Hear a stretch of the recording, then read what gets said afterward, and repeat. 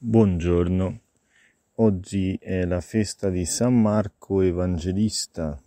In Italia coincide anche con la festa della liberazione al termine della seconda guerra mondiale.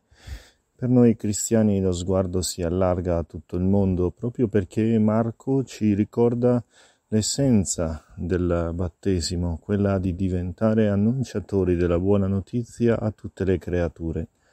Così racconta il brano del Vangelo della liturgia al capitolo 16 di Marco, i versetti dal 15 al 20, che concludono il libretto del discepolo di Pietro e Paolo, l'Evangelista, che sembrerebbe essere stato presente nella notte della cattura di Gesù nel Getsemani, quel bambinello che lascia lenzuolo e scappa via nudo, secondo il testo evangelico, sarebbe proprio lui, quel bambinello che è diventato un grande annunciatore, appunto, e che ci ha lasciato il testo che meditiamo.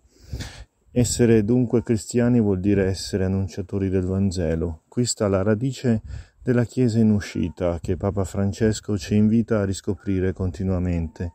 La Chiesa in uscita non è una novità del terzo millennio, ma è l'essenza della Chiesa stessa, quella radice profonda per cui Gesù stesso l'ha voluta.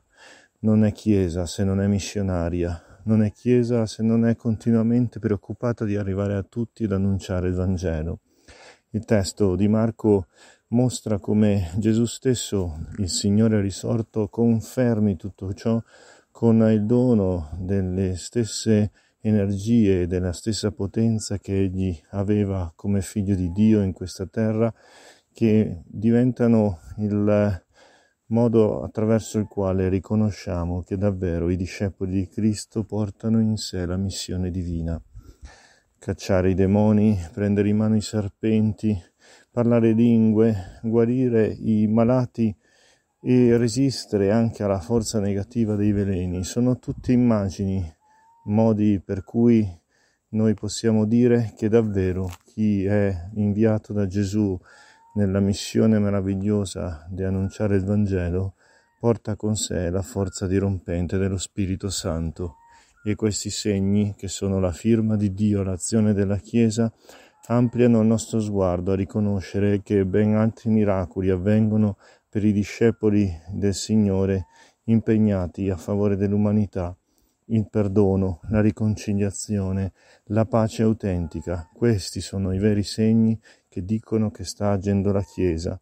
Chi non opera per la pace, chi non promuove il perdono, chi non agisce per riconciliare, ma stimola piuttosto alla contrapposizione, all'odio e alla guerra, evidentemente non viene da Dio, o almeno non si lascia ispirare dallo Spirito Santo del Signore risorto.